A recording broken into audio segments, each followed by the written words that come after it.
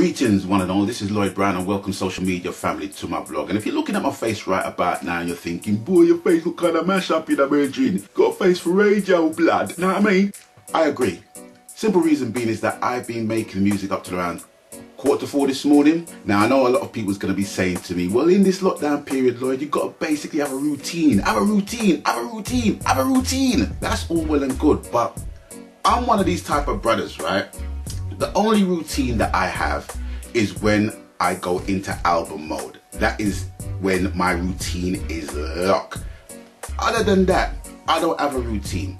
I just do what I want, with who I want, where I want, how I want. So, give you an example. I was in the mood to basically clean up my flat. What time did I do it? Around half past two in the morning. Vacuum cleaner and everything. I'm not a societal kind of person. I don't jump into something because it's trending, you know what I'm saying?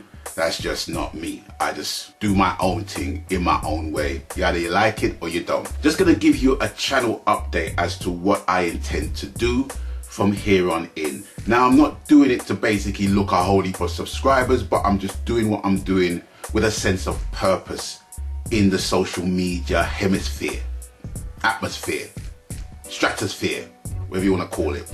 So I've decided to um to expand it by actually doing a lot more detailed stuff of what I do already. Firstly, with tutorials.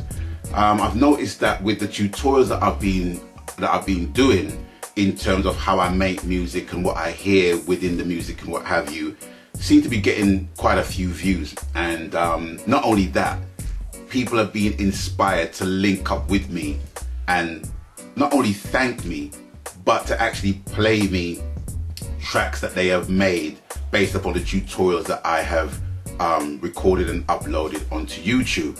And some of the results have really, really been good. Some of the results need a little bit of working on, but the, the, the overriding thing in all of this is that everybody is being creative. And my rule of thumb is, is that you're never too old to learn. You can learn something from someone that doesn't even know as much as you do in terms of your craft and what you do. It's all relative and each one can teach one and that's what I'm about. I intend to uh, expand on my tutorials and also I'm going to be doing competitions and the like so people can win copies of albums and yada yada yada and blah blah blah blah and rare rare rare rare. I really want to get involved in the tutorials thing as well and um, to give people an insight, more of an insight as to how my workflow in music is created, is shaped. Me sitting down in front of a computer, although it's inspiring to people in the way that it has been,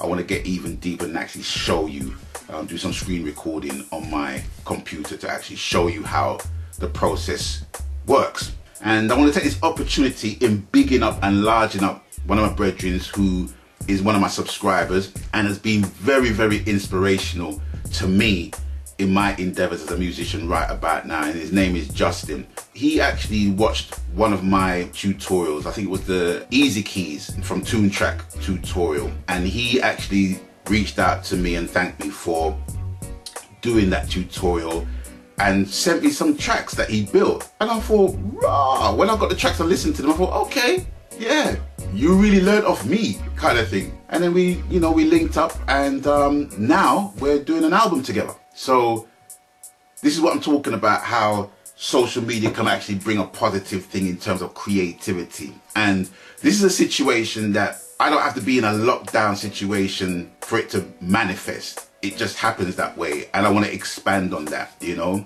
And seeing that the tutorials have basically helped so many people in so many different ways on so many levels, that's what I really want to expand on right about now. So the next video will actually be about a track that I decided to revamp and give to one of my colleagues for free. Ladies and gentlemen, for free. Because I am of the pay it forward school of thought. Now, if you haven't seen this movie, you need to watch this movie. This movie is about a youth, right? And as part of his social studies um, project, he wanted people to do a good deed for someone else. And instead of them paying it back, he wants them to pay it forward to three other people. And in turn, those three people pay it forward to three people each. And that's how it multiplies. And I'm thinking, you know, that's a positive direction of how humanity can go. There's a good direction of how positivity can flow. We're wrapped up in the spread of a disease that is just, it's killing people. It's revealing people in a way that I've never expected before. It's just making people behave digi and what have you. And to some degree, I can understand that. But I want to offset that and counterbalance that by doing something positive in the field that I am familiar with. That's more or less it. That's all I've got for you right about now. So pay it forward.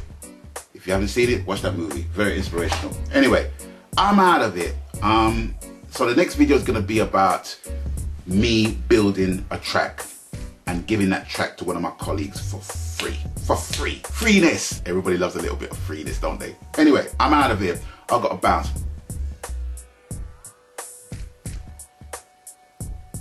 So it's with that, I'm going to bid you a fond adieu. And as always, you don't know the cool ladies and gentlemen, boys and girls, brothers and sisters. People, please, please abstain from foolishness. Stay in at your yard. Be safe. And until I catch you on the next one, people, stay blessed. I'm out of here. McGon. Laters. Abstain from foolishness.